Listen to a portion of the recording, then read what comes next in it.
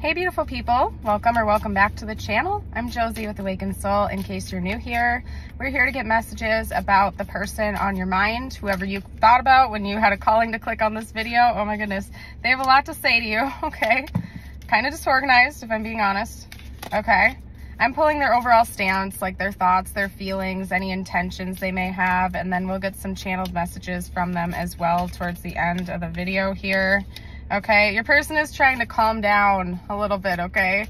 They, they're very driven to come towards you, but they're trying to like temper that down a little bit and relax for whatever reason. They're trying to calm down their energy towards you, maybe because they know that that's the right thing to do, because um, they might be overwhelming you or they're scared that they're going to overwhelm you if they kind of bombard you with their feelings and everything right away.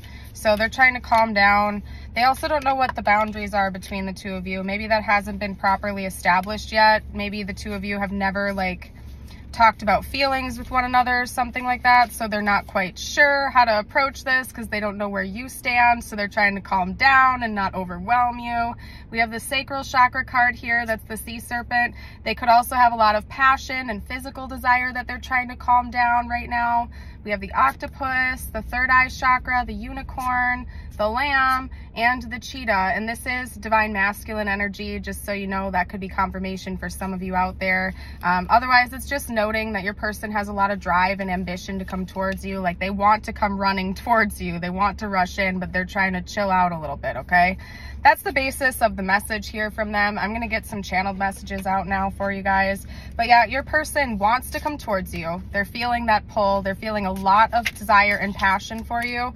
But for whatever reason, they feel like they have to chill out until they know what the boundaries are between the two of you. So could be that one or both of you are in another connection or something maybe, and they're like not sure what to do about that. Or um, again, maybe you guys are just friends or something like that and they don't know if you feel the same way. Whatever the situation is for you, they just feel like they have to hold back a little bit or they're going to overwhelm you or create some drama.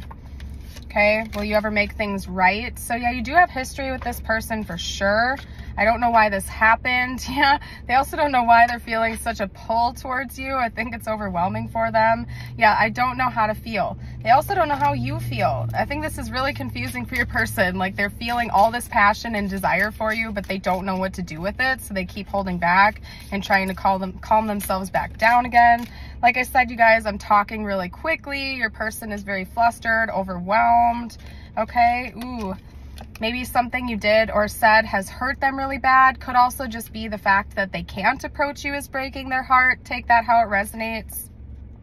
Yeah, I don't know if you feel the same. That's part of it too. Maybe you're just friends with this person or something and they don't know what it is. They're scared to move forward because they don't know if you feel the same way about them. So I don't know, you guys. I'm going to leave this reading here. If it resonated, like and subscribe if you feel called. I'd love to see you for future videos. Remember, you are a bright, shining light, and I hope you know that. And I hope to see you for your future video. Bye for now.